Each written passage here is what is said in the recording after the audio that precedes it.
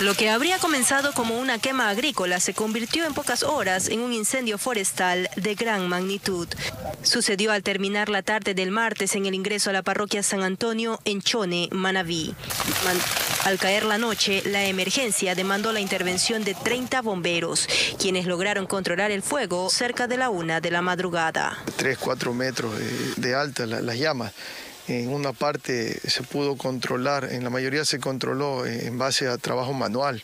La zona afectada es parte del humedal La Cegua. Personal técnico de la prefectura investiga el impacto ambiental. Estamos constatando de que son aproximadamente 50 hectáreas que se han flagelado, que se han deteriorado.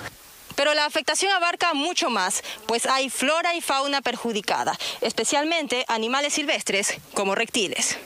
Esta serpiente mata caballo logró huir y quedarse a pocos metros de las llamas, mientras que una tortuga con su caparazón quemado fue rescatada y será sometida a un tratamiento, pero otras en cambio fueron calcinadas.